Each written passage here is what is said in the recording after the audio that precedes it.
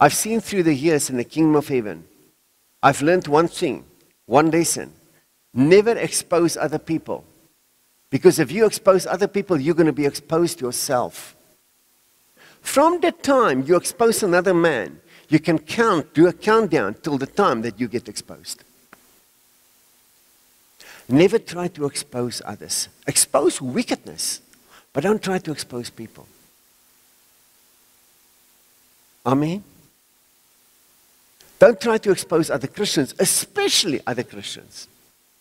The Bible says, Don't touch my anointed ones. Don't touch them. I don't speak only about preachers, I speak about other Christians as well. All Christians fight a huge, strong battle. We need to pray for one another in Jesus' name. There's many Christians that doesn't believe in the way that I do things, that doesn't agree the, with the way I do things. But you know what? I love them.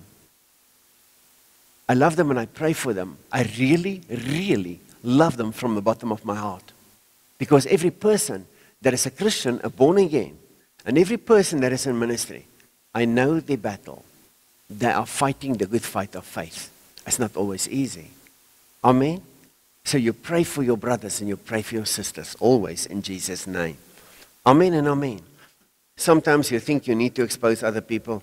I will never expose another Christian. I will never expose another preacher or his children. Never, ever. Never, ever.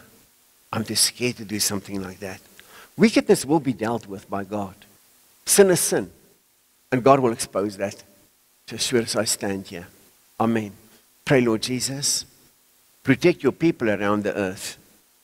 Grant your people the grace to love one another and to stand in unity in the name of Jesus. Hallelujah.